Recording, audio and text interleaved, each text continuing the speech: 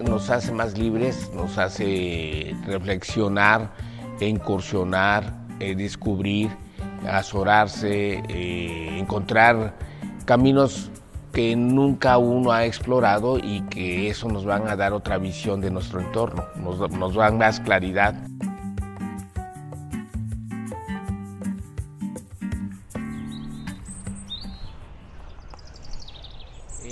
El, artista es, es, libre, independiente y crea con todo su entorno que huele, que respira. Trabaja uno con elementos, con todos los elementos que nos rodean, pero básicamente con la creatividad, la libertad y el gozo de crear. Todos, todos los días me levanto temprano, me tomo un té y me voy al taller y lo que hago es fondear un cuadro siempre llenarlo de una pasta de, de, óleo y luego tirar una sílica encima y, rayar encima, dibujar y, borrarla y volverla a rayar y, va tomando forma con temas desde luego, ¿no? He manejado el tema de, del circo, el tema de los ajolotes, como voy olfateando el cuadro y, es, y ese olfateo me va dando pautas y me acerco. Entonces cuando llego a un cuadro, borro los demás y me voy sobre ese cuadro, sobre esa temática, sobre esa textura, sobre esos colores. Y, lo voy desarrollando, siempre pegado, digamos, a un guion. Rufino Tamayo fue para nosotros en una época, eh, cuando yo vivía en la Ciudad de México, era el pintor y sobre todo que él representaba los colores de donde yo venía, de Oaxaca. Entonces era muy fuerte la influencia de Tamayo, pero sí marcó en mi obra Tamayo, Toledo y sobre todo la, la pintura española, Tapies, Alechinsky, eh, de la, que era lo que veíamos cuando yo pues, tendría yo 13 años, 14 años. Y entonces eh, empecé a pintar cuadros de grandes formatos con arena de, volcánica, eh, muy influido, muy influenciado por Tapies, pero muy a la muy a la Tamayo, muy a la oaxaqueña, ¿no? Con muchos colores, eh, pues, digamos, eh, la parte cubista de Diego Rivera, en donde están los harapes de Saltillo, todos esos colores muy mexicanos.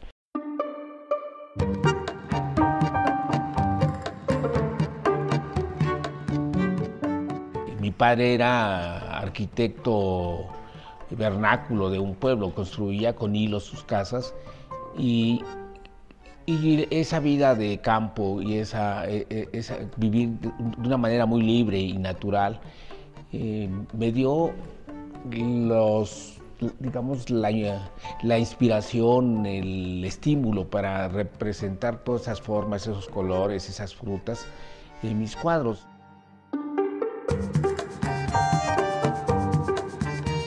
Fue una relación muy cercana, de gran amistad y donde aprendí mucho de él, sobre todo este, este mundo que, él se, lo reservaba mucho, muy reservado, de historias. Tenía un amigo, Roberto Doniz, este amigo había vivido en París, y un escultor, Jorge Dubón, eh, que habían convivido en París.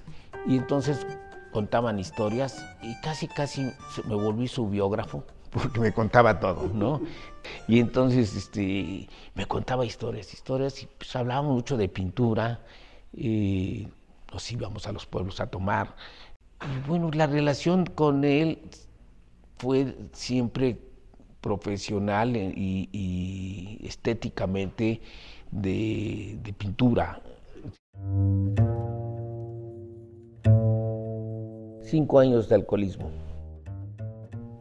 No paré un solo día, día y noche. Me levantaba yo con tequila y me acostaba yo con ron. Iba a la escuela y conocí una chica que me enamoré y creo que fue una cosa para mí extraordinaria, ¿no? Ese dibujo que está allí es ella, eh, no se ve, está en el papel amate, es un dibujo erótico. ella me posaba y yo la dibujaba y la veía una o dos o tres veces máximo al año. Y esos eran encuentros maravillosos, efímeros. Y no hablábamos. Y no la conocí.